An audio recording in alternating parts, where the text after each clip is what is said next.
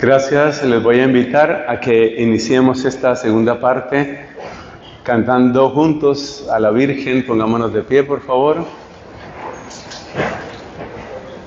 Mientras recorres la vida, tú nunca solo estás. Contigo por el camino, Santa María. Ven con nosotros a caminar Santa María, ven, ven con nosotros a caminar. Santa María, ven. En el nombre del Padre y del Hijo y del Espíritu Santo. Amén. Siéntense, tengan la bondad. Esta es nuestra segunda parte. Seguimos con la misma palabra clave, la comunicación. El mundo en el que estamos parece más comunicado, pero a veces los medios de comunicación nos incomunican. Ya desde la época, eso no es solamente ahora con redes sociales y celulares, ya desde la época de la televisión, ¿cuántas veces una pantalla de televisión sirvió como una especie de división para no hablar lo que había que hablar, para no preguntar lo que había que preguntar, para no pedir esas disculpas o ese perdón que hacía falta. Hay que tener cuidado, no vaya a suceder, repito, que los medios de comunicación nos incomunican. Y por eso eh, quiero hacer una pequeña anotación a manera de introducción sobre el peligro que tenemos de pasar las costumbres, el estilo de las relaciones virtuales a las relaciones reales. Relaciones virtuales típicamente las de las redes sociales, relaciones reales las que tenemos en persona. En las relaciones virtuales, si algo no me interesa, lo silencio, ese famoso mute, ese famoso bloqueo o ese famoso swipe, esa, esa palabra que designa, ¿no? El ir pasando. Estaba viendo un video, no me interesa, se puso aburrido, swipe, paso al siguiente video. Pero esas costumbres mentales esos hábitos mentales, de alguna manera luego como que los vamos trasladando a la vida real. No me interesa una amistad, la cancelo. No me interesa una persona, la abandono. No me interesa una relación, aplico el temible ghosting. Esa palabra la conocen muchos de nuestros jóvenes. Ghost en inglés pues significa un fantasma. Y ghosting es la costumbre de volverse fantasma para la otra persona. En la práctica significa desaparecer sin dejar rastro, muchas veces cancelando. Es de las experiencias más dolorosas que puede tener una persona y lo están sufriendo muchos de nuestros jóvenes. Eh, hace unas semanas me escribía, por ejemplo, una amiga que acaba de vivir eso en México. Ella estaba pues interesada, estaba creciendo en una relación que prometía bastante, una relación afectiva. Tenía un amigo, no eran novios, pero de esto que ya empiezan a conversar mucho, todos los días tienen que tener alguna comunicación.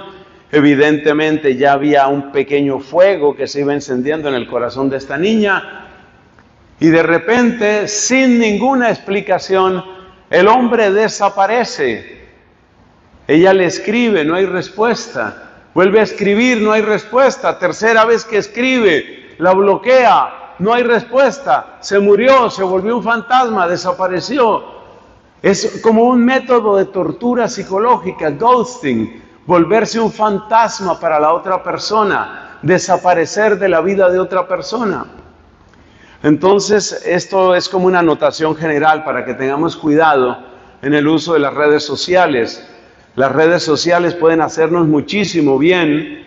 Muchos de ustedes reciben elementos de su formación en la fe a través de redes sociales, a través de un YouTube, a través de un Facebook, a través de un Twitter o X, como llaman ahora X. Usted está recibiendo cosas buenas, pero tenga cuidado, no todo es bueno. Y nunca, nunca se podrá reemplazar el encuentro personal, la relación real no se puede reemplazar con la relación virtual. Porque muy fácilmente lo que sucede es que empezamos a trasladar al mundo real las relaciones o las costumbres del mundo virtual. Y el, eh, y el efecto es desastroso, el efecto es devastador. Sobre todo porque si usted tiene una conversación difícil que está pendiente con su hija, tiene una conversación difícil, pues usted no puede simplemente bloquear a su hija. Su hija sigue viviendo en esa casa. Pero lo que está pasando en muchas casas, en muchos hogares, es que en la práctica aplicamos los bloqueos y los ghosting, los aplicamos también en la casa. ¿Y cómo es el bloqueo? Cierro la puerta de mi habitación y que nadie se meta conmigo. ¿Cómo bloqueo? Me quedo callado, no respondo nada, respondo solo monosílabos. ¿Cómo bloqueo? Manteniendo una actitud pasivo-agresiva, haciéndole sentir a la otra persona que es culpable todo el tiempo. Hay que tener mucho cuidado con esto, tenemos que estar no solamente en una actitud vigilante, sino en una actitud que podríamos llamar terapéutica. Ya en muchos de nosotros hace falta una auténtica terapia para no caer en esos excesos. Y atención, que esto no es solo de niños y de jóvenes. Hace poco conocí el caso en otro lugar, por supuesto, el caso de un sacerdote. Y este sacerdote se volvió adicto al celular. Para que seamos claros y todo lo digamos, no era un problema de pornografía ni cosas de esas, que también pasa. El Papa nos advirtió a los sacerdotes y religiosos que lo mismo que a cualquier otro sacerdote, que a cualquier otra persona, a nosotros también nos puede pasar una adicción de esas. Pero en el caso de este padrecito, es que él se metía en ver videos, videos a veces chistosos, videos, eh, qué sé yo, de acción, o de ciencia, o de comedia, o de lo que sea, y pasaba horas. Y fue una persona de la parroquia que denunció, que denunció el caso, pues no por destruir el, ministerio de él, sino un poco para que hiciera algo, para que entrara alguna terapia. El hombre se volvió adicto, es decir, nos puede pasar a cualquiera de nosotros. Y hay que tener cuidado con eso, porque a veces maltratamos un poco a los jóvenes creyendo que estas cosas solo suceden con los más jóvenes. Quizás sí son los más vulnerables. Bueno, esa era una anotación general sobre el tema de las redes sociales. Tengamos cuidado porque estamos hablando de comunicación en familia. Comunicación en familia. Lo que les voy a compartir a partir de este momento es lo que podemos llamar decálogo de la comunicación en familia, decálogo de la comunicación. Eh, algunos de ustedes me han preguntado si estas conferencias se van a publicar precisamente en redes sociales. Sí, efectivamente, las vamos a publicar. Les recuerdo para quienes estén interesados en suscribirse en redes sociales, ustedes me encuentran con el nombre Fray Nelson como si fuera una sola palabra. Por supuesto, mi nombre es Nelson y Fray es un em, indicativo de una comunidad religiosa. Las comunidades religiosas medievales utilizábamos mucho el Fray. Fray es como una abreviatura de frater, hermano, miembro de una comunidad. Entonces usted me puede buscar en YouTube con Fray Nelson, usted se puede suscribir a ese canal. Como dicen todos, active la campanita para que cada vez que haya un video pues lo pueda encontrar. En próximos días si Dios permite, la próxima semana esto también se va a publicar.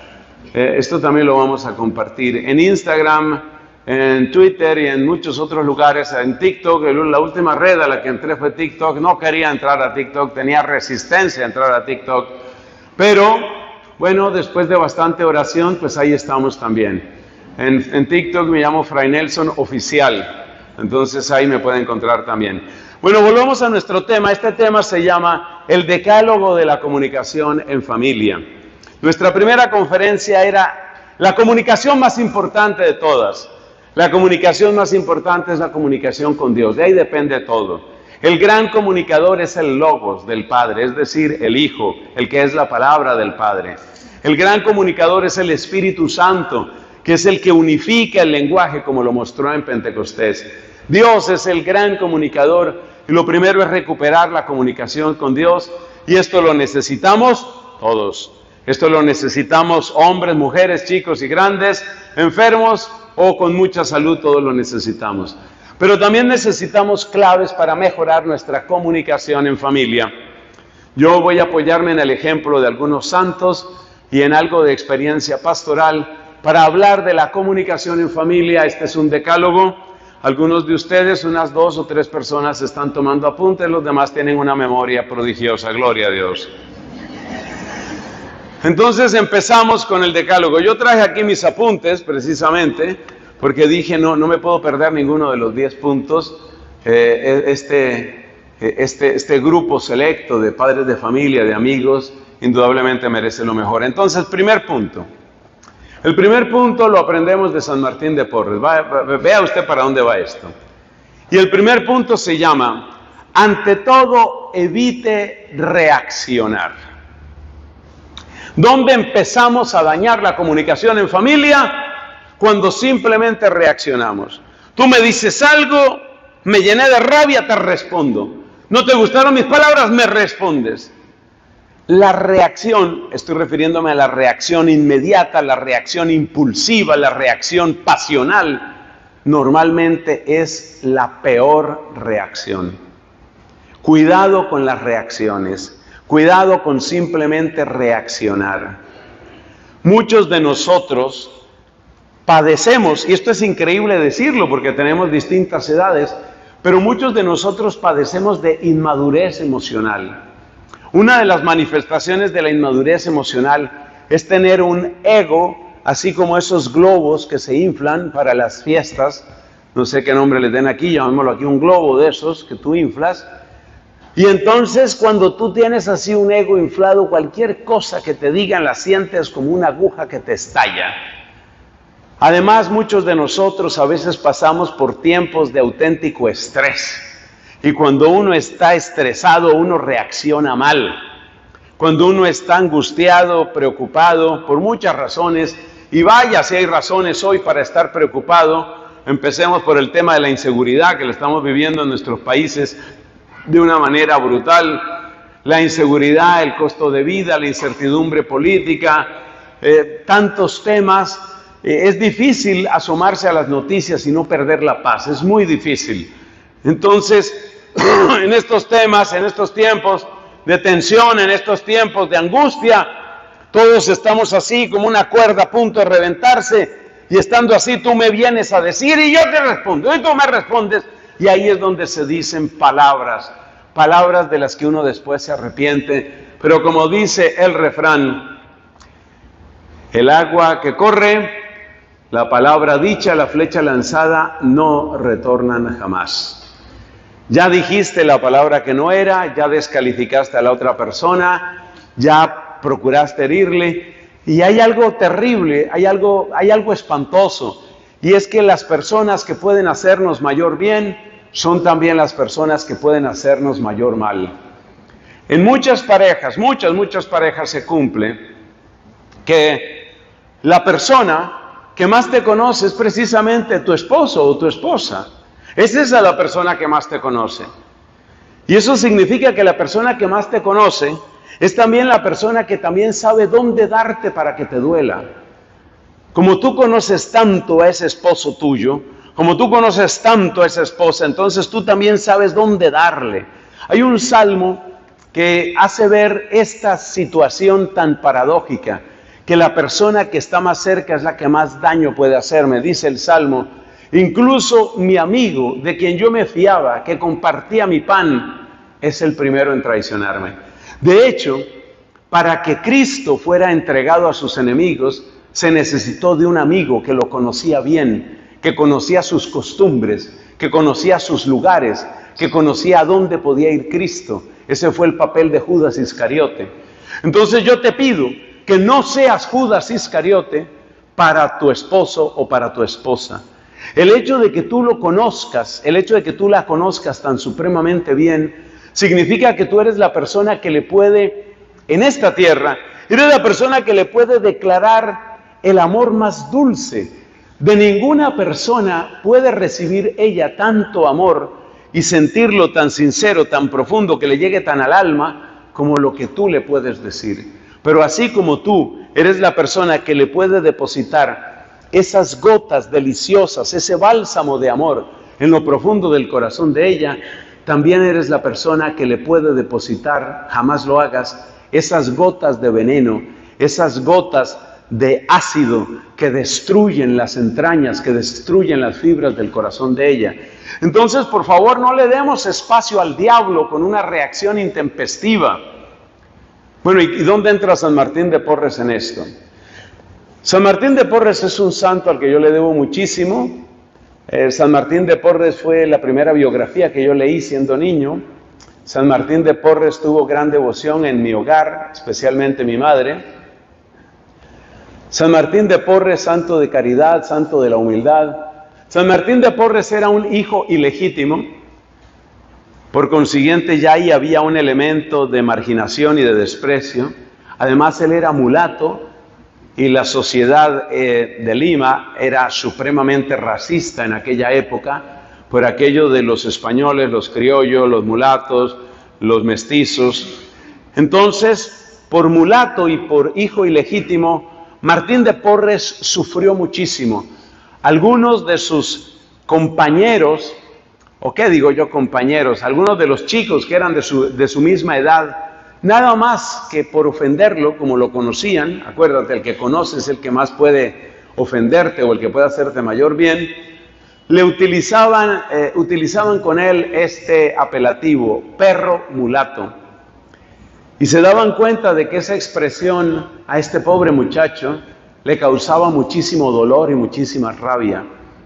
Pero un día Martín de Porres aprendió, y aquí es donde entra él, estamos en el primer mandamiento de este decálogo, un día Martín de Porres aprendió esto, que entre la acción y la reacción cabe la reflexión. Y entonces, al principio, al principio, cuando él era muy, muy pequeñito, era un niño prácticamente, no un adolescente, cuando le decían, él reaccionaba, a veces con rabia, a veces con dolor. Pero él se dio cuenta que entre la acción y la reacción, la acción es lo que a mí me hacen, la reacción es lo que yo voy a hacer. Entre la acción y la reacción cabe la reflexión, cabe la pausa, cabe el pensar, cabe el orar, cabe, cabe, cabe. Es posible. Y esto cambia muchísimo. Además te digo una cosa, cuando tú reaccionas como un caucho, cuando tú reaccionas instantáneamente, en el fondo estás aumentando el poder de la otra persona, que en ese momento se está portando, entre comillas, como un enemigo. Terrible decir esto de la propia familia, pero en ese momento, pues, para que nos entendamos, se está portando como un enemigo. Si a ti te dicen algo y tú reaccionas, tú estás en poder del que actuó. Si tú estás simplemente reaccionando, tú le estás dando más poder. Por supuesto, detrás de esto, sin que veamos diablos en todas partes, pero detrás de esto está el demonio carcajeándose. Con esas acciones y reacciones el demonio se carcajea porque ahí está destruyendo familias. Y sabemos que como la familia es un invento de Dios, una creación purísima de Dios, pues el demonio tiene gran interés en destruir la familia. Entonces, el primer punto es, evita reaccionar. Es decir, estamos hablando aquí de la reacción instantánea. No quiere decir que uno se vuelva de piedra o no le duelan las cosas. Pero evita la reacción instantánea. Entre la acción y la reacción cabe la reflexión. Dale un tiempo, date un tiempo. Y si sientes que te hierve la sangre, ese es el peor momento para hablar. Y si sientes que te ensegueces y pierdes el control, ese es el peor momento para hablar. Porque si tú hablas en ese momento, de tu boca saldrá una flecha que no vas a poder detener, que no vas a poder borrar. Y esa palabra, esa palabra que sale de tu boca va a herir y va a empeorar la relación y la va a deteriorar. Entonces hay que tener mucho cuidado con eso y ese es el primer mandamiento, evita reaccionar. Segundo, segundo mandamiento, que este solo mandamiento, mira, ayudaría a recuperar millones de matrimonios en todo el mundo. Reconozca usted su parte de responsabilidad. A veces digo, tratando de, ser amable y de hacer un chiste, yo digo que la enfermedad que está acabando en los matrimonios es una enfermedad descubierta en varios puntos de América Latina que se llama esquetú. El esquetú es una enfermedad terrible, una enfermedad espantosa, muy contagiosa, que consiste en que la gente empieza a mirarse y dice, es que tú, es que tú, es que tú. Y el es que tú acaba matrimonios, y el es que tú acaba la relación entre los padres y los hijos. Por supuesto que en una situación de familia hay muchas responsabilidades, pero yo te digo una cosa, es muy difícil que en un problema haya un solo culpable. Es muy difícil. Mira, por acción, por omisión o por formación, todos tenemos responsabilidad en lo que sucede en nuestros hogares o en nuestras comunidades. Yo no vivo en, familia, yo vivo, soy religioso, vivo con otros religiosos y nosotros pues también tenemos problemas, también tenemos dificultades, por supuesto. Donde hay seres humanos, hay humanidad. De manera que ahí también hay inconvenientes. Y es muy frecuente que nosotros caigamos en la enfermedad del esquetú. El esquetú es una posición de superioridad, es una posición de arrogancia, es una posición que trata de hundir al otro. Y cuando tú intentas hundir al otro, el ego de la otra persona va a reaccionar. El tener conciencia de las propias responsabilidades es una medida de salvamiento de hogares y de parejas. Reconocer tu parte. Asume tu parte de responsabilidad. Observemos una cosa, hemos dicho, la responsabilidad no es solamente lo que yo hice, es también lo que yo dejé de hacer. Y es también la formación que yo traje a las otras personas. Porque a veces lo que más nos cuesta para reconocer nuestra responsabilidad, a veces lo que más nos cuesta es que nos examinamos así, acalorada y rápidamente nos examinamos y decimos, yo no he hecho nada. Un momento, es que la responsabilidad no es solamente por lo que hiciste, también la responsabilidad es por lo que dejaste de hacer. Y la responsabilidad también es por la manera como formaste porque dentro de la familia todos somos formadores de todos. De alguna manera tú estás formando a tu esposa para que sea la mujer que es hoy, con lo mucho bueno que tiene y también con los defectos que pueda tener. Y lo mismo para el esposo y lo mismo para los hijos. Entonces tenemos responsabilidad. Y asumir la propia responsabilidad automáticamente le baja el volumen a la voz automáticamente nos da una actitud mucho más sana, mucho más constructiva. Empieza por reconocer tu parte, empieza por reconocer lo que tú hiciste o dejaste de hacer para que se llegara a esa situación. Observemos que en la Santa Misa nosotros nos arrepentimos y decimos, porque he pecado de pensamiento, palabra, obra y omisión. Y así como en el confesionario, los pecados que menos se escuchan son los pecados de omisión, así también en la familia, los errores que menos se reconocen son los errores de omisión.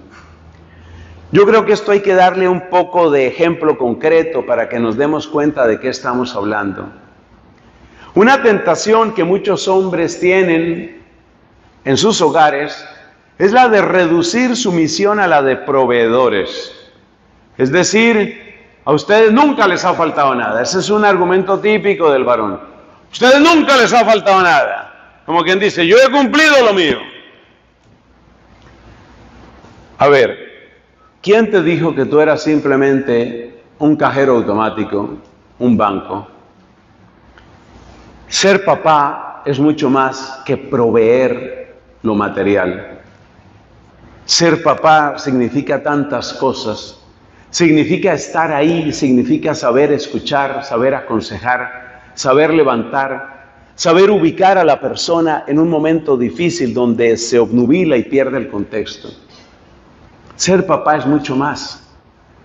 Entonces, en un examen de conciencia sincero sobre lo que significa tu misión de papá, no te pongas el examen fácil, ese examen que es tan fácil de pasar. Si tú te pones el examen fácil, lo superas sin ningún problema. ¿El examen fácil cuál es? El examen fácil es, yo tenía que ser proveedor y soy proveedor, he cumplido con ser proveedor, ya está. No, no te pongas el examen fácil. Ponte el examen, el examen completo, que muchas veces es más exigente, y descubrirás que tú seguramente tienes de qué, de qué pedir un perdón, de qué pedir unas disculpas, algo que reconocer. El otro ejemplo que quiero dar dentro de las omisiones tiene que ver con algo que ya mencioné en la conferencia anterior, la falta de gratitud. Se nos olvida agradecer. Y cuando tú no agradeces, ya lo decíamos en la conferencia pasada, tú tratas a los demás como si te debieran. Y cuando tratas a los demás como si te debieran, los tratas como si fueran tus esclavos. A nadie le gusta que lo traten así. Desde lo más sencillo, como puede ser pasar un café, hasta lo más profundo e íntimo, como puede ser la sexualidad en la pareja. ¿Dónde está la gratitud? Y si falta la gratitud, ahí hay una falta muy seria, una falta de omisión. Porque si tú estás tratando a tu esposa como la que tiene que, es que ella debe, es que para eso es mi mujer, la estás tratando como si fuera un robot, una cosa o una esclava. Es una mujer libre, es una mujer que libremente te escogió a ti, es una mujer que libremente se entrega a ti. Entonces, ahí es donde falta muchas veces esa gratitud, por dar un ejemplo de omisión. El Papa Francisco, que es tan práctico en tantas cosas de familia, varias veces nos ha hecho listas de las palabras que no deben faltar en las familias. ¿Y tú sabes cuáles son esas palabras? Por favor, gracias, disculpa, me equivoqué. En varias catequesis y en varias conversaciones informales y entrevistas, el Papa Francisco ha hablado de eso. Que no les falten estas palabras en su familia pero a veces sí faltan. Y cuando faltan esas palabras, es como cuando a un motor, otra vez una comparación infantil, como cuando a un motor le falta esa lubricación, le falta ese aceite. Todos sabemos lo que va a pasar. Ruido espantoso, recalentamiento y catástrofe. Pues lo mismo pasa en las familias. Cuando faltan estas palabras, hay ruido espantoso. ¿Qué significa? Gritos y gritos. Recalentamiento. ¿Qué significa? Ira, explosiones. Y finalmente catástrofe. ¿Qué significa? Separación. No nos entendimos, no funcionaron las cosas. Con un poquito de lubricación, con un poquito de ese aceite del que nos ha hablado el Papa, las cosas serían muy distintas. Pero se nos olvida. ¿Cuántos hijos llegan donde el papá? Papá, dame tal cosa. Papá, necesito. A veces como dame suena tan impositivo.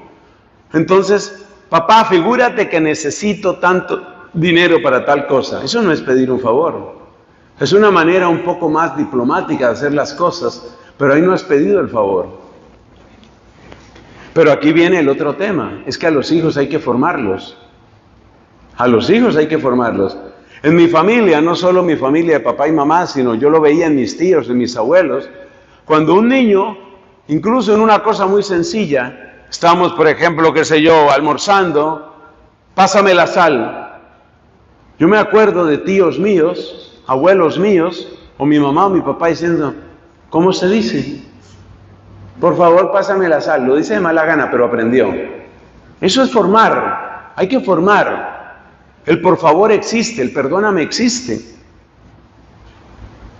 Así hacían mis papás. Así hacían mis tíos. A ver, ¿qué pasó? ¿Qué es esa pelea? ¿Qué es ese ruido? Que Juanito me pegó. No, pero tú primero hasta que se aclara. Bueno, aquí hubo de parte y parte. A ver, Rafael, le vas a pedir perdón a tu primo. El niño no quiere. Tieso. Mira el suelo. De aquí no nos vamos. Le vas a pedir perdón. Hay que enseñar. Y si no has enseñado a pedir perdón, hay una responsabilidad de tu parte. Por eso decimos que las fallas son de acción, de omisión y de formación. Porque a veces maleducamos, maleducamos cuando toleramos esa clase de comportamientos. Entonces el segundo mandamiento es reconoce tu parte de responsabilidad, reconócela en tu conciencia, reconócela ante Dios y reconócela oportunamente ante los demás. Tercer mandamiento. Tercer mandamiento en este decálogo de la comunicación en familia. Por favor, toma conciencia de las diferencias. Y este mandamiento requiere un poquito de paciencia de ustedes porque es un poco largo. ¿A qué hablamos aquí? ¿De qué hablamos aquí con las diferencias? No es lo mismo la mente del hombre que la mente de la mujer. No es lo mismo la sensibilidad de la mujer que la del hombre, no es lo mismo. No es lo mismo el lenguaje del joven que el del adulto. No son iguales las necesidades, las preguntas, las búsquedas, las circunstancias. Entonces vamos a dar algunos ejemplos, que esto es lo que yo creo que ayuda a entender de qué estamos hablando. A mí me llama mucho la atención el tema de la comunicación en hombres y en mujeres. Es un tema que he estudiado con gusto desde hace muchos años. O sea, yo hago cuentas y digo, Dios mío, me estoy volviendo viejo. No tanto como algunos sacerdotes amigos que tengo, pero, pero sí me estoy volviendo viejo. Es que yo hago cuentas y yo llevo por lo menos 25 años estudiando este tema de hombres y mujeres que me fascina. Porque es que fue Dios el que nos hizo. El Génesis dice, hombre y mujer los creó, a imagen suya los creó, que significa que la imagen de Dios de alguna manera no está completa ni en el varón ni en la mujer. Y que cada uno tiene que aprender a complementarse y a completarse hasta cierto punto viendo al otro. Entonces lo de la comunicación de los hombres y mujeres es un tema absolutamente fascinante. Lo primero que busca un hombre en una comunicación es una solución. Lo primero que busca una mujer en una comunicación es un desahogo, una compañía, una comprensión. Si te quieres quedar con una sola palabra, no es que todas las mujeres sean iguales, no es que todos los hombres seamos iguales, pero realmente en un altísimo porcentaje, en una comunicación, un hombre busca una solución y una mujer busca comprensión. Y son dos modos válidos de acercarse a la realidad. En una época, en mi casa vivía una prima mía, que es casi de la misma edad, de una edad muy semejante. Vivía una prima mía, estaba haciendo estudios allá en Bogotá, vivía en mi casa. Y yo me acuerdo que sucedían cosas chistosas. ¿Por qué menciono lo de prima? Bueno, porque yo no tuve hermanas. Entonces para mí era un poco exótico ver cómo se comporta ese ser humano llamado mujer. Entonces esta chica, esta prima, alguna vez tenía un problema, problema con el novio, problema en la universidad, problema con una materia, problemas que tienen los jóvenes. ¿Qué hacía ella? Entonces ella llamaba a una amiga le contaba a la amiga. Se demoraba contándole a la amiga. Colgaba. En esa época no había celulares. Soy viejito, ya les dije, no había celulares. Colgaba. Volvía a levantar el teléfono y le marcaba a otra amiga. A contarle lo mismo. Si el problema era grave, hablaba con tres o cuatro amigas. Yo decía, what's the point? ¿Qué es lo que quiere? Resulta que ella no estaba esperando soluciones. Ella necesitaba sentirse comprendida, acompañada. Como algunas veces ya se cansaba, porque hay que saber que las, mujeres también se cansan de hablar, hay estudios que muestran que eso puede suceder. Se han detectado casos donde la mujer se cansa de hablar. Entonces ella ponía altavoz, ponía altavoz. Y entonces me daba cuenta de la otra parte, claro. ¿Qué hacía la otra amiga? La otra amiga, por supuesto también mujer, no le daba ninguna solución. Mire el tipo, oigan esto sobre todo los varones, porque el mundo, la, vida secreta de las mujeres es algo que mucho varón no conoce, aunque haya tenido hermanas, aunque haya tenido novias, aunque esté casado con una mujer, no lo conocen. ¿Qué es lo que le decía la amiga? La amiga lo que le decía era básicamente dos o tres cosas. En primer lugar, la escuchaba. En segundo lugar, le decía, te entiendo. Y en tercer lugar, le decía, a mí me ha pasado lo mismo. Entonces yo, que en esa época era chismoso, después se me pasó. No, yo no era chismoso, sino que estaba ahí. Yo decía, pero ¿en qué momento le va a dar una solución? No, no le daba ninguna solución. Básicamente era, te escucho, te entiendo, qué problema, amiga. Mira que a mí me pasó lo mismo. Si el tiempo daba, la mujer da soluciones, pero las da de modo testimonial, que es un modo muy distinto del que utilizamos los varones. ¿Cómo es una solución testimonial? A mí me sirvió tal cosa. No le dice haz, no es tanto eso, sino a mí me sirvió tal cosa. Entonces, es un modo de comportamiento muy diferente del que solemos tener los hombres. El hombre rápidamente se impacienta. Bueno, bueno, al punto, al punto. Y sí, ¿y qué, y qué pasó? Bueno, ¿y qué te dijo? Pero ¿y por qué dijo? ¿Y por qué no hiciste esto? Lo que hay que hacer es esto. Despachada. Y entonces la mujer no se siente escuchada, no se siente comprendida. ¿Qué hace? Agarra el teléfono y llama a alguien que sí la entienda, una amiga. Entonces hay que entender que son dos modos distintos de ver la vida. Lo primero que buscan, no es que las mujeres no busquen soluciones, también quieren soluciones, pero lo primero que necesitan es sentirse reafirmadas, fortalecidas, confirmadas, validadas como personas. Y eso es lo que da muchas veces la amistad con otras chicas, con otras mujeres. Eso es lo que da. Se siente validada, se siente respaldada, se siente restablecida. Porque el problema no solamente le llegó a ella, sino que la hundió, la descalificó, la invalidó. Los hombres no tenemos que volvernos mujeres, las mujeres no tienen que volverse hombres, pero si nosotros entendemos estas diferencias claves en la comunicación, entonces nos comunicamos mucho mejor. Hay que entender eso. A veces, a veces, cuando escuches a una hija tuya, estoy hablando a los varones por supuesto, cuando escuches a una hija tuya, cuando escuches a tu esposa, tú pregúntate qué es exactamente lo que ella quiere y necesita. Posiblemente lo que quiere ante todo es ser escuchada y ser reafirmada sentir estoy contigo, sentir puedes contar conmigo. Además, hay muchos problemas que no tienen una solución tan clara, tan nítida como uno quisiera. Hay muchos problemas que no son así. Y de hecho, tarde o temprano, tarde o temprano llegarán a nuestra vida problemas que no tienen solución.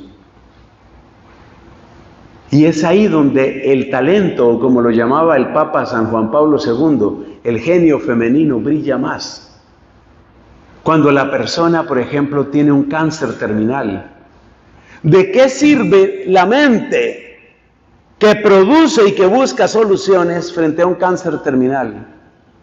Poco, tal vez un poco en términos de cuidados paliativos, pero lo que más necesita la persona sin duda es presencia, compañía. Entonces tenemos que aprender unos de otros de las lecciones bellas que trae la vida en pareja, la vida en familia bien vivida, es que tú que eres un varón y que te encanta tener soluciones para todo, aprendas un poco de la mujer. Pero la mujer que también aprenda, que la mujer también aprenda del varón. Muchas veces lo que se necesitan son caminos definidos, se necesitan respuestas. En esto de hombres y mujeres también hay que tener en cuenta que existe una tendencia en nosotros los varones a centrarnos en un punto y este es el punto del que vamos a hablar. Y vamos a resolver este punto y esta conversación es para resolver este punto. Las queridas damas tienen la costumbre de mezclar combinar, reconectar, evocar, insinuar, sugerir, imaginar, empelicularse. Entonces, hay que entender eso. Hay que entender eso. Muchas veces nosotros, la mente de nosotros los varones funciona de una manera secuencial. Ahora resolvemos esto, ahora resolvemos esto, después resolvemos esto y luego resolvemos esto.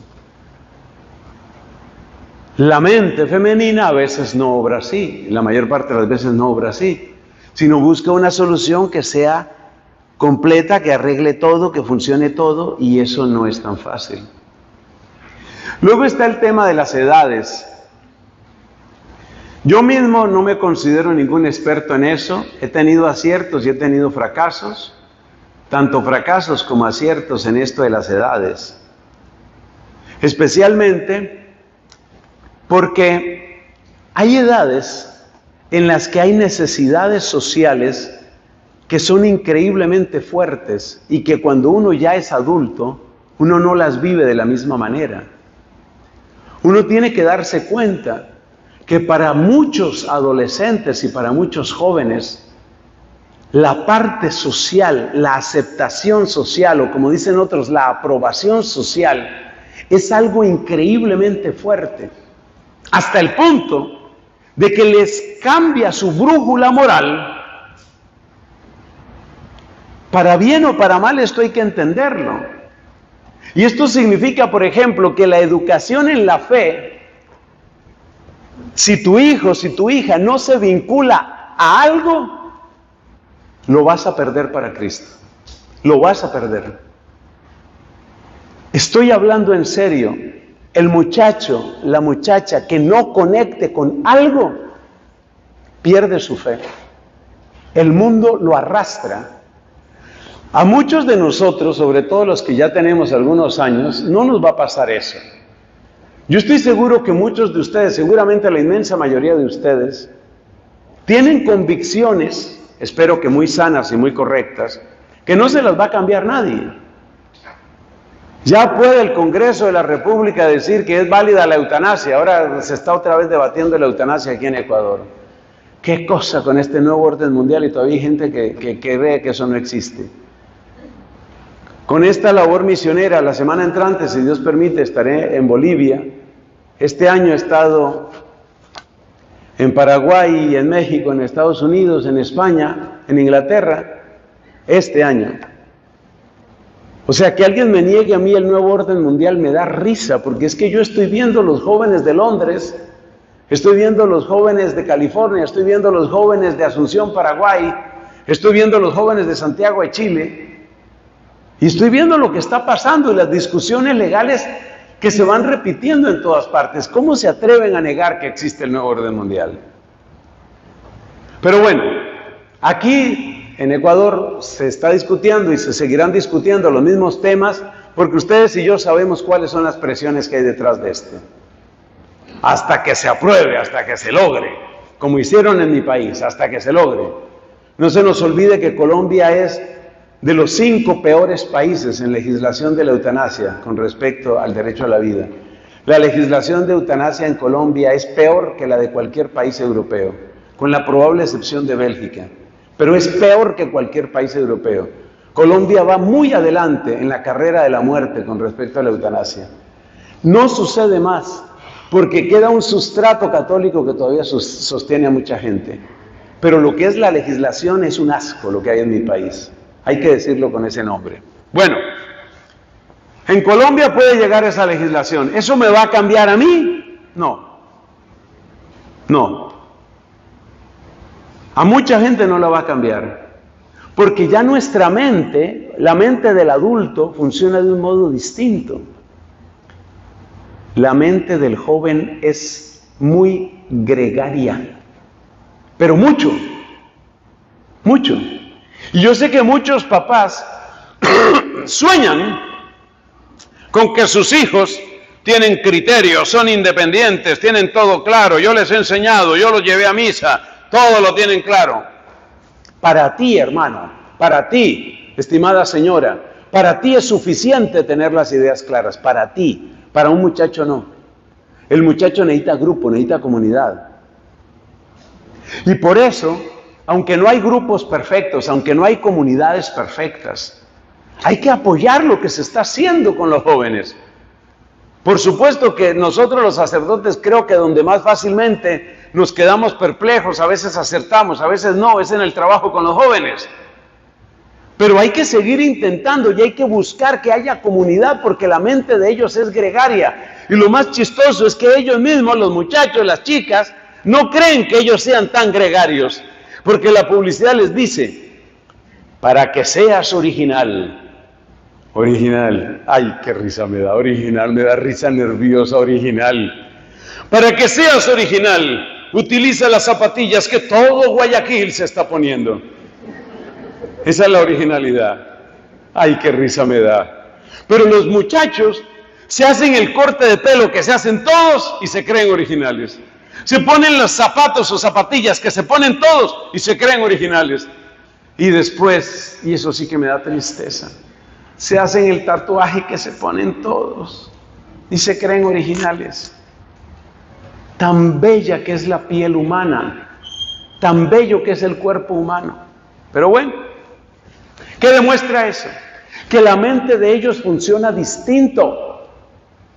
La mente de ellos es distinta en unos más que en otros. Eso depende de muchos factores. Pero hoy realmente eso depende mucho. Entonces, si tú eres papá, mamá, tienes hijos en edad adolescente, más bien jóvenes, todavía están bastante jóvenes, mira, si tus hijos no están asistiendo a algo en la iglesia, preocúpate, preocúpate, preocúpate. Porque el siguiente paso, la siguiente escena en esa película es que un día descubres, ahora con lo que salió mi hija, con que tiene novia, ahora mira con lo que se... Pero ¿en qué momento si nosotros le hemos dado una buena formación, si, si no está tu hija vinculada a una comunidad creyente, si tu hija no está en algún grupo, en algo, en algo, en algo, donde se viva, donde, donde haya algo de predicación, donde haya algo de formación, donde haya algo de oración. Si tu hija no está ahí, tarde o temprano te la arranca el mundo. Y tú no creas que porque somos una familia unida, no. Eso no vale. Porque hay algo dentro de la biología del ser humano que se dispara en la adolescencia y tú también lo tuviste. Lo que pasa es que uno se le olvida eso algo que llega en la adolescencia y que es yo no soy una prolongación de mi papá ni de mi mamá, yo soy otra cosa. Y eso está bien. Pero ahí es donde es indispensable que tengan comunidad. Bueno, todo esto era el tercer mandamiento. Hay que tomar conciencia de las diferencias para poder comunicarse bien.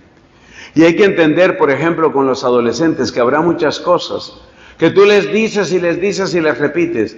Y solamente cuando se las dicen allá en el grupo, ahí sí la entendió, ahí sí la aceptó. Entonces tú tienes que tener humildad y decir, sí, esa es la ley de la vida, así funciona. Cuarto mandamiento. El cuarto mandamiento es más cortico, ánimo que esto va prosperando. Cuarto mandamiento, Haz el propósito de escuchar hasta el final. Cuando una persona te esté hablando, asegúrate que la persona hable hasta el final. Eso puede ser difícil en algunos casos, tal vez tu suegra habla mucho, pero haz el propósito de oír hasta el final. Porque oír hasta el final es la única manera de estar seguro de que estás oyendo. Si tú no oyes hasta el final, tú no estabas oyendo, tú estabas preparando tu respuesta. Y eso nos pasa demasiado a los seres humanos. Tú me empiezas a hablar y yo empiezo a decir, en esto se equivocó, en esto se equivocó, eso no es cierto, eso es mentira, eso fue lo que le dijeron, eso no es cierto. Y entonces ya, tú, ya, no, ya tú ves a una persona que está moviendo su boca, pero ya tú no estás oyendo nada. Y ya tú esperas el momento. Y cuando la otra persona para para respirar, tú sueltas lo tuyo. Eso no es dialogar, eso no es comunicarse. Mira, el mejor negocio que tú puedes hacer, sobre todo cuando hay una situación tensa, es oír hasta el final. Porque cuanto más se desahogue la otra persona, cuanto más saque toda esa carga, que muchas veces es una carga de bilis, donde ya saque, ya sacó, todo lo que tenía que sacar. Mejor para ti. Además, acuérdate lo de San Martín de Porres, entre la acción y la reacción está la reflexión. Tú deja que la persona diga, diga, que termine. Santo Tomás de Aquino, ustedes disculparán que yo solo cite santos dominicos en la iglesia Santa Teresita. Santo Tomás de Aquino tenía una capacidad de escucha tan impresionante que cuando él terminaba de oír todo lo que decía su adversario, y había discusiones muy acaloradas en esa época, en la Edad Media, tiempo de cristiandad, cuando terminaba de hablar la otra persona, Santo Tomás le decía, mira, lo que yo te he entendido es esto. Y le hacía una especie de resumen. Y en más de una ocasión los propios adversarios de Tomás le decían, lo has expresado mejor que yo. Eso es comunicarse. Mira, te estoy entendiendo esto. Dime por favor si estoy comprendiendo bien. La persona vuelve y se altera, se acalora, se le pinta la vena, se trastorna, se le voltean los ojos, cambia de color, se brota. Tú dejas que la persona se desahogue. Estoy entendiendo esto. Escucha hasta el final. Escucha hasta el final. Asegúrate de que estás entendiendo el punto de la otra persona. Asegúrate que realmente la estás entendiendo. Quinto, en general, esto vale especialmente para las queridas amigas, señoras, señoritas, niñas, damas, abuelitas, bisabuelitas y de ahí en adelante. En general es mejor no mezclar temas en general. Ni siquiera en conversaciones, yo sé de las habilidades comunicativas que tienen las damas, pero ni siquiera en comunicaciones entre mujeres es recomendable mezclar tantos temas. Porque yo he visto dañarse relaciones entre madre e hija. Y por supuesto que ambas son mujeres, pero se daña la comunicación.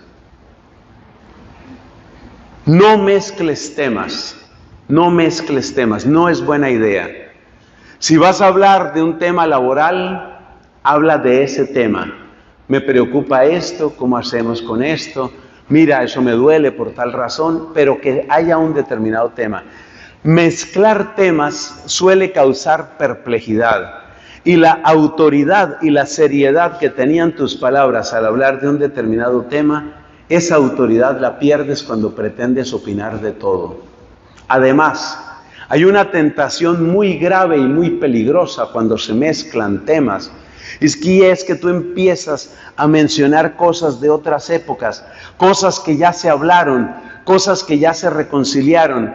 Me decía con voz temblorosa un hombre casado en un retiro, me decía, yo muchas veces, muchas veces, ya he hablado de esto con mi mujer ya le he pedido perdón varias veces. Ella me ha dicho, sí, sí, te disculpo, te perdono, sí. Pero cuando discutimos otra vez lo saca.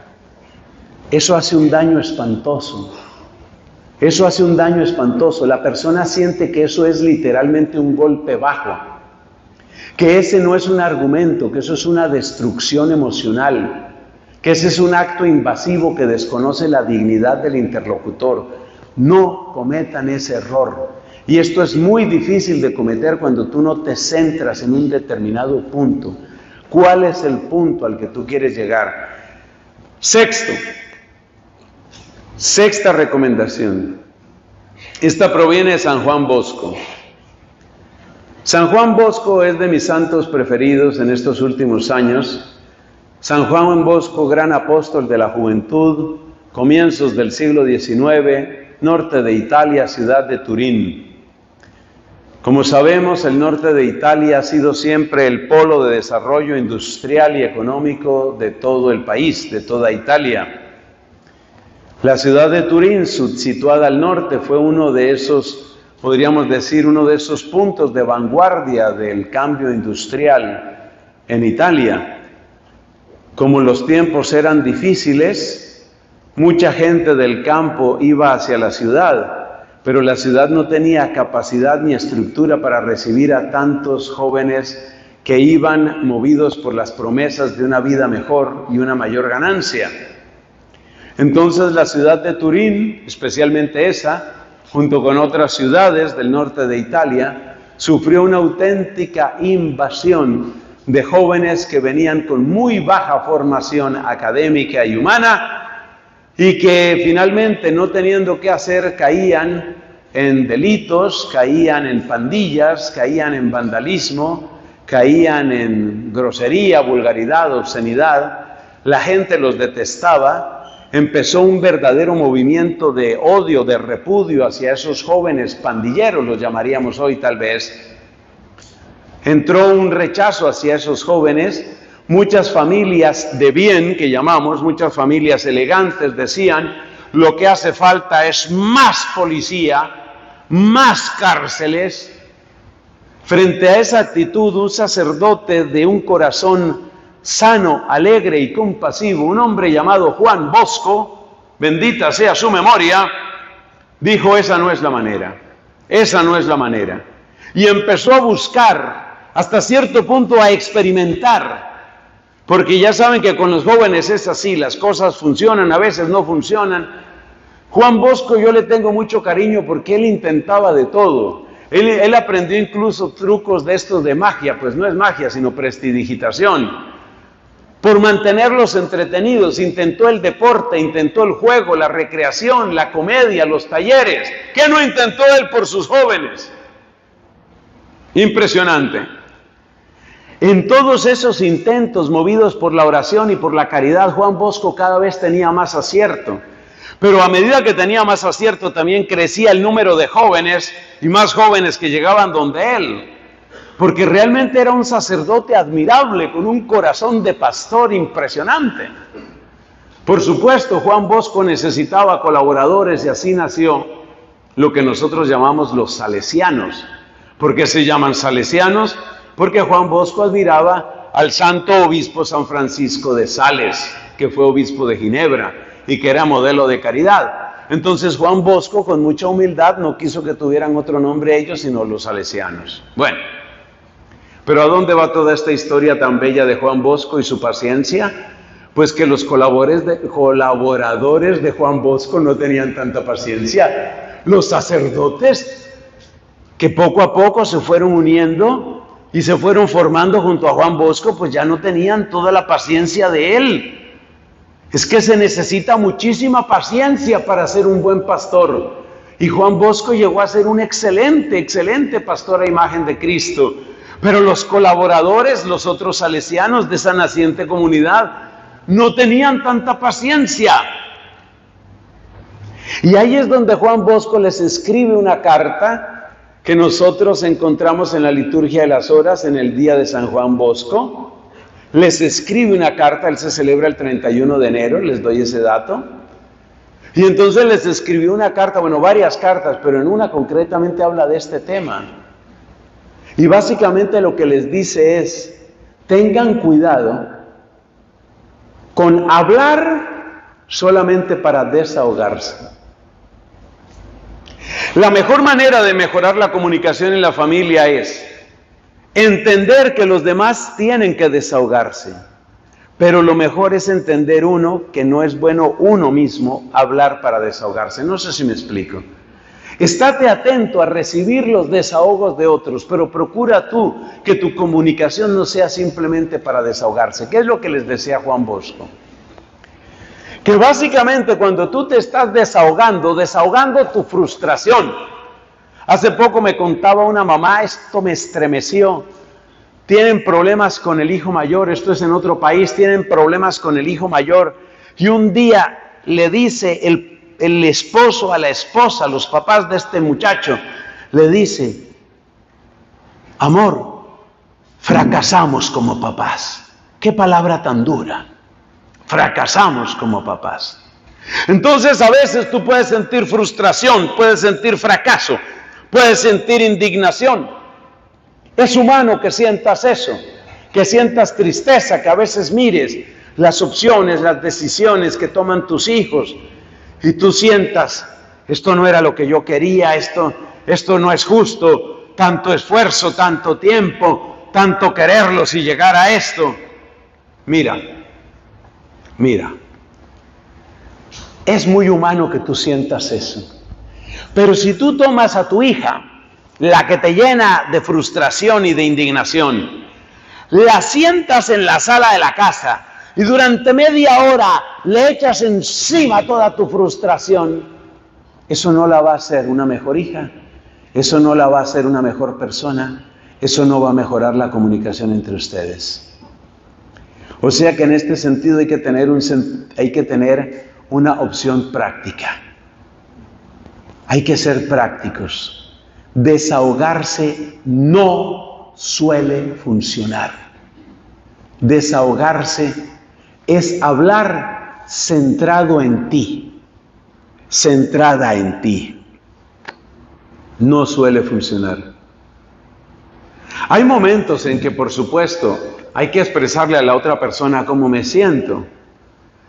Pero cuando le vayas a expresar a la persona cómo te sientes, asegúrate de que la otra persona está en la disposición de escucharte, lo cual no es tan fácil que suceda, pero también sucede. Dicen los que hablan de comunicación asertiva, esa es la expresión que utilizan los psicólogos, asertiva. Dicen los de la comunicación asertiva que la introducción para desahogarse el día que tengas que hacerlo es más o menos esto. Yo quisiera contarte un poco cómo me siento yo.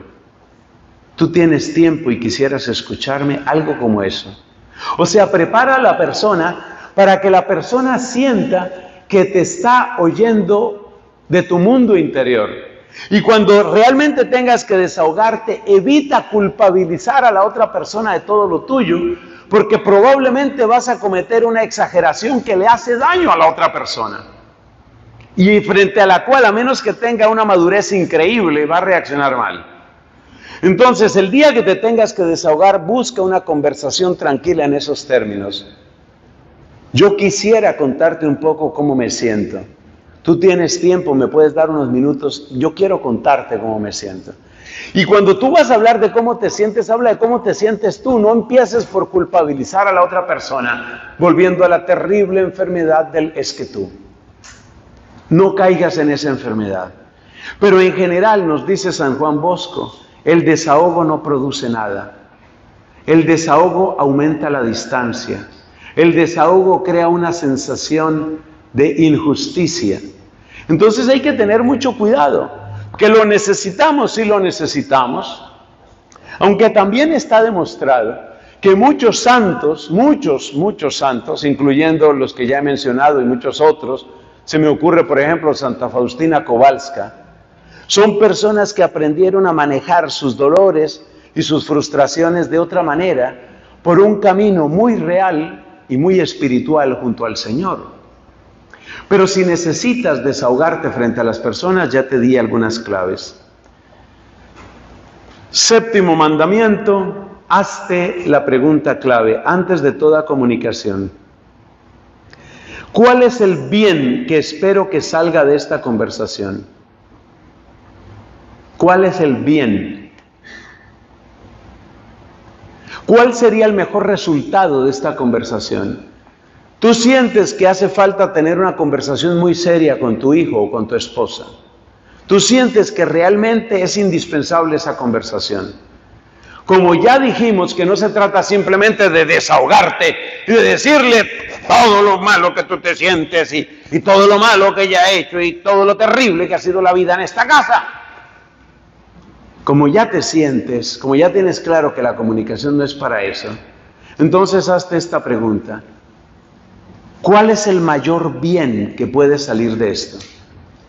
¿Cómo podría terminar bien esta conversación? Mira que esa es una destreza importantísima en la comunicación. Yo tengo muchos amigos que trabajan en esto de ventas, gerencias comerciales, marketing, y una cosa que me llama la atención de tanto hablar con mis amigos marqueteros es cómo los entrenan, no tanto para el comienzo, que también, no tanto para el comienzo, sino para el final de la conversación. Lo que más le insisten a la gente que trabaja en ventas es cómo debe terminar la conversación. Porque claro, si tú estás en ventas, ¿La conversación en qué debe terminar? En un cierre de venta. Claro, si tú estás en ventas y la persona sale muy contenta pero no compró nada, algo nos está fallando. Y si durante este día y durante un día todos salieron felices pero nadie compró nada, yo creo que muy pronto estarás despedido. Entonces en las ventas lo que interesa es cómo termina la conversación. Hazte la misma pregunta, ¿cómo quiero yo que termine esta conversación con mi hijo? Tengo una conversación difícil con mi hijo, ¿cómo quiero que termine? Mírala en tu cabeza esa conversación y mira en tu cabecita cuál es el final que yo quiero para esta conversación, ¿cómo quiero que termine? Quiero que termine a los puños, quiero que termine en medio de gritos, quiero que finalmente se pare, me grite, dé un portazo y se largue. ¿Cómo quiero que termine esta conversación? Tengo una conversación muy difícil con mi esposa. ¿Cómo quiero que termine? Con gritos desgarradores, con lágrimas, con esas expresiones que tanto hieren. Ya me lo dijo mi mamá. Así es como tú quieres que termine. ¿Por qué les dicen a los vendedores que se sitúen en el final? Porque como también enseña Santo Tomás de Aquino, esa frase es muy bonita en latín, primus in intentione, postremus in execuzione. Lo primero en la intención es lo último en la ejecución. O sea, tú mira el final, tú mira dónde quieres llegar, cómo quieres que termine esto. Esta conversación, ¿cómo debe terminar? Bueno, yo tengo una conversación con mi esposa, dirá un hombre, tengo una conversación con mi esposa. Y como este hombre asistió a un encuentro muy hermoso en Santa Teresita en noviembre del 23, como este hombre asistió a, esa, a ese encuentro, entonces ya él piensa las cosas y él dice, a ver, ¿cómo quiero yo que termine? Una conversación con mi esposa, ¿cómo debe terminar? En un gran abrazo. Que nos miremos a los ojos y podamos decir, pues hemos pasado por muchas tormentas, pero quiero que sepas que hoy te quiero más que nunca. Así debe terminar. Si tú te sitúas así, eso va a suceder, porque tú vas a orientarte hacia ese final. Esto vale para muchas cosas.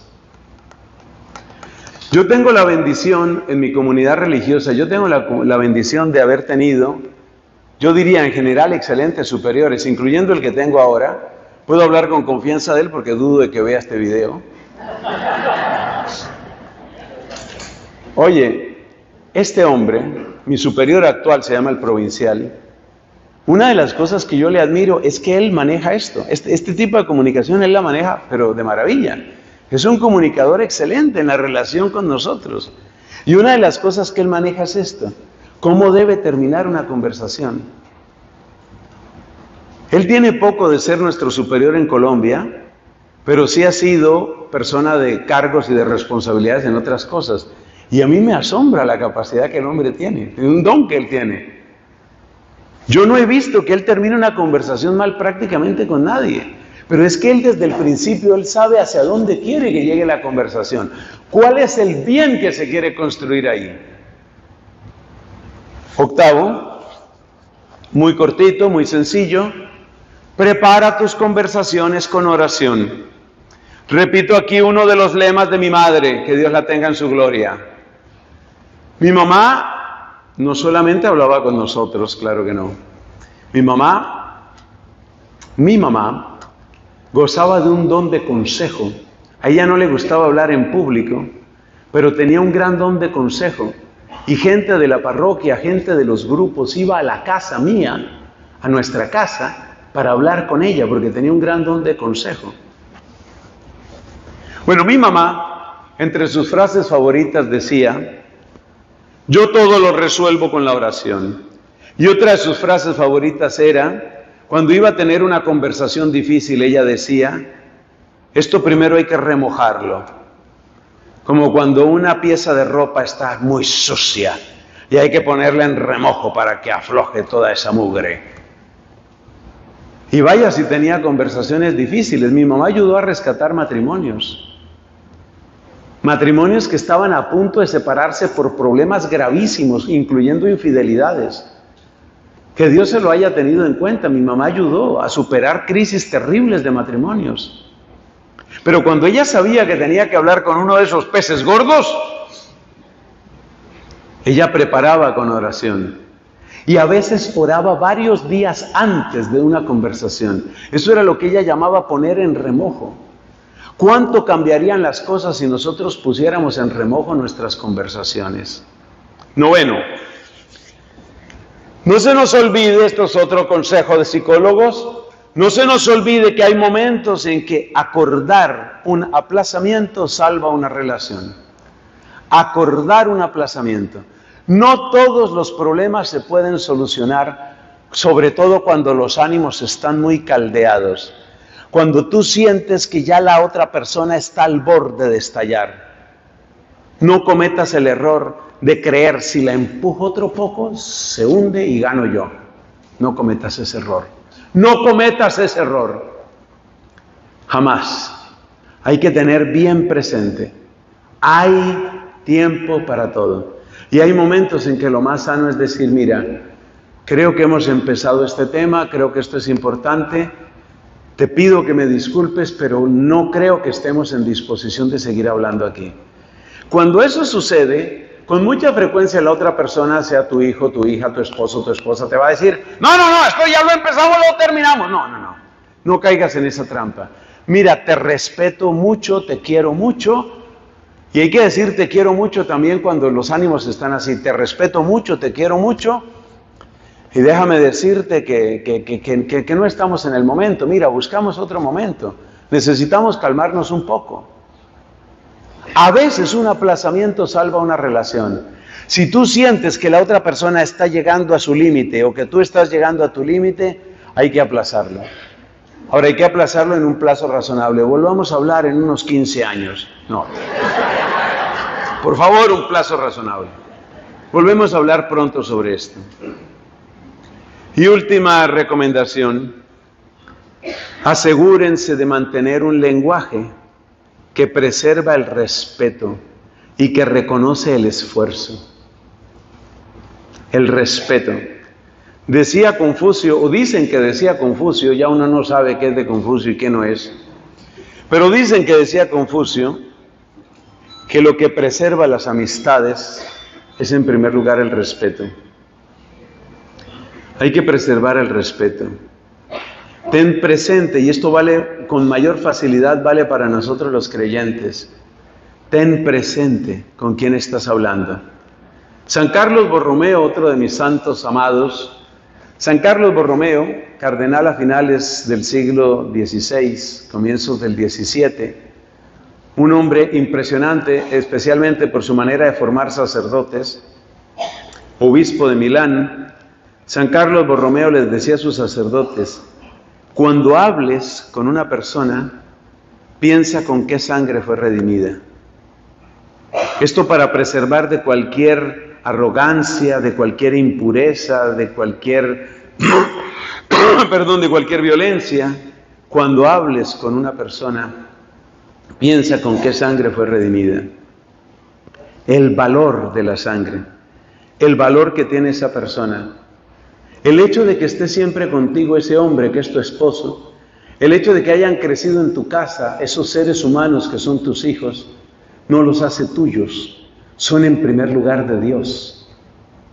Si cada mañana en tu oración, porque dijimos que hay que renovar la oración, si cada mañana en tu oración tú tomas eso en cuenta, mis hijos son de Dios, mis hijos los redimió Cristo con su sangre, mi esposa, mi esposa la amó Cristo hasta el extremo, por ella dio Cristo su sangre.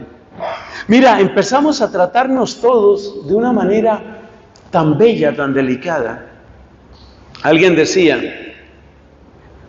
hay que acercarse al corazón del otro como Moisés se acercó a la zarza con los pies descalzos.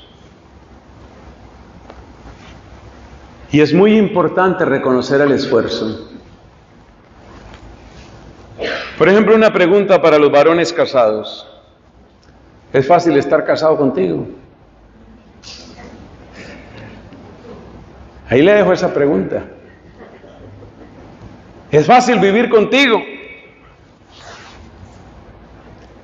Mujeres, háganse esa pregunta también. ¿Es agradable vivir conmigo? No te estoy diciendo si tú eres una buena mujer, seguro que eres una muy buena mujer. Eso a este templo no entran sino buenas mujeres, eso se sabe. Seguro que eres una muy buena mujer, estoy convencido de eso. Pero yo no te estoy preguntando eso, te estoy preguntando si es agradable vivir contigo. Si es agradable. Mira, la convivencia nunca es fácil. Hay una anécdota sobre San Luis Gonzaga. San Luis Gonzaga fue un santo, santo bendito de los jesuitas. Él murió antes de recibir el sacerdocio. Él atendía a muchos enfermos, era enfermero y él atendía a muchos enfermos, se contagió y bueno, murió, murió joven. Es un testimonio muy bello de castidad, de pureza. San Luis Gonzaga. Y en la época de San Luis Gonzaga hay una anécdota interesante. En aquella época, ellos, eh, los jesuitas, tenían la costumbre allá en su seminario, que no se llamaba seminario, sino juniorado, creo, tenían la costumbre de llevar como unas memorias, ¿no? Anecdotarios y entonces en esas memorias alguien escribió, salimos de paseo, no pudo ir Luis Gonzaga, gracias a Dios. Luis Gonzaga, un santo. Y decía este tipo en un arranque de sinceridad o de ironía, porque el que escribe eso es un varón, escribía, no pudo ir gracias a Dios. No siempre es agradable vivir con nosotros. Yo a veces miro mi propia vida como yo soy, miro mis hermanos de comunidad y me hago esa pregunta. ¿Es fácil? ¿Es fácil vivir conmigo? Y a veces la respuesta es que no es tan fácil. Esto es bueno recordarlo. Esto es bueno recordarlo. Estamos en el décimo y último mandamiento. No es tan fácil. No es tan fácil. Y esto significa que la convivencia siempre supone un esfuerzo de todos. Claro, ese esfuerzo se hace menor y se hace mucho más llevadero por algo maravilloso que se llama amor. Pero el amor también se expresa en que toca tenerte paciencia. Yo miro mi propia vida y yo digo, mi gente ha tenido paciencia conmigo, es que no lo puedo negar. Entonces, cuando tú hables con otras personas, incluyendo las de tu familia, recuerda eso que también te han tenido paciencia, que a veces no es fácil, que tú no eres fácil todo el tiempo. En visita todos somos, ay, todos somos tan queridos. En visita somos tan simpáticos, en visita somos tan amables, pero otra cosa es vivir contigo, con todas las costumbres y a veces mañas que todos tenemos. A veces las parejas tienen peleas que pueden sonar incluso un poco chistosas que ese aire acondicionado está muy frío, me estoy muriendo de frío, lo apaga. Pues yo me estoy muriendo de calor, lo enciende. Eso ya significa una negociación. Finalmente llegan a una temperatura en que ella sigue sintiendo, bueno, este es frío, pero será por la unión. Y él siente, me estoy cocinando en vida, pero será por el matrimonio. Todo supone un esfuerzo. Todo supone un esfuerzo y supone negociación. Esa mujer que está viviendo contigo, que es tu esposa, hace un esfuerzo. Padre, me está diciendo que mi mujer tiene que hacer un esfuerzo para vivir conmigo. De eso estoy hablando. Exactamente de eso. Que no es fácil, de eso estoy hablando. No es fácil. En visita todos somos amables. En visita somos muy simpáticos. Pero otra cosa es vivir. Vivir el día a día. Además, acuérdese que entran también las familias políticas, Dios mío, las familias. Y ahora vienen estas fechas y bueno, ¿y dónde vamos a pasar la Navidad? Bueno, como de costumbre, en Navidad vamos donde los tuyos, para Año Nuevo vamos donde los míos. Sí, sí, ya sabía. Hay esfuerzo. No es fácil vivir juntos. Entonces, esta es la última recomendación. Cuando tú vayas a hablar, ten en cuenta el respeto, porque cada persona es imagen de Dios y vale la sangre de Cristo. Y ten presente que esa persona ha hecho esfuerzos, ha puesto de su parte, mucho o poco, a veces poco, a veces quisiéramos más, pero ha puesto de su parte. Cuando las personas sienten que se les reconoce su esfuerzo, cuando las personas sienten que se les reconoce que han puesto de su parte, se disponen mejor para una mejor comunicación. Terminemos amigos con una breve oración, pongámonos de pies por favor.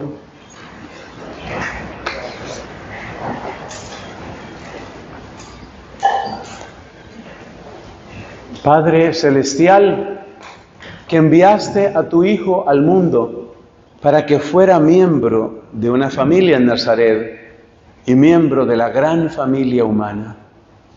Padre Celestial, envía tu espíritu de reconciliación y de amor.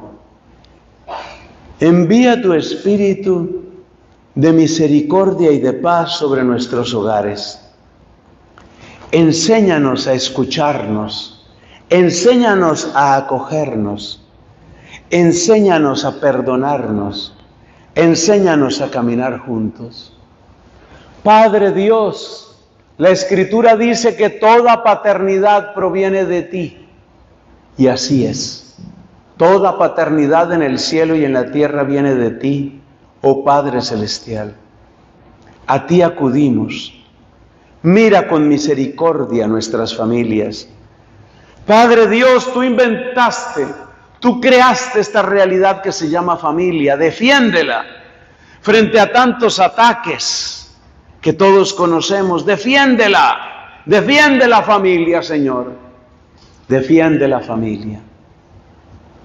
Haz que nuestro espíritu, ungido por tu Espíritu Santo, se vuelva hacia ti. Haz que aprendamos las lecciones, que desechemos nuestros orgullos y que hagamos juntos un camino que sea grato ante tus ojos. Amigos, el Señor esté con ustedes. La bendición de Dios, Padre, Hijo y Espíritu Santo, descienda sobre ustedes y permanezca para siempre. Gracias por su tiempo, su cariño, su amistad. Gracias.